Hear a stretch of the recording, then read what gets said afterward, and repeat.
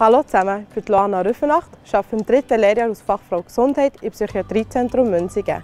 Ich werde euch heute einen Teil von meinem Arbeitsalltag zeigen. Könnt mal mit mir mitkommen.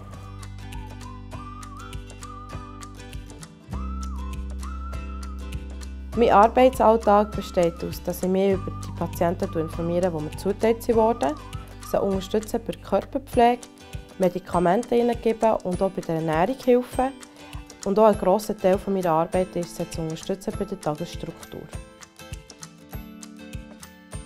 Für die Station erledige ich Bestellungen und sorge noch für Ordnung.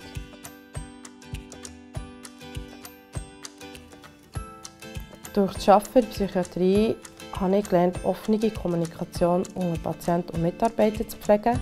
Ich habe mich auch selber besser kennengelernt, wo meine Grenzen sind.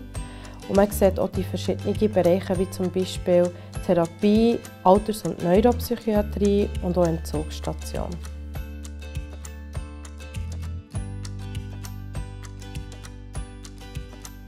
Für das du hier arbeiten kannst, musst du belastungsfähig sein, empathisch auf die Leute eingehen und Freude im Umgang mit Menschen haben.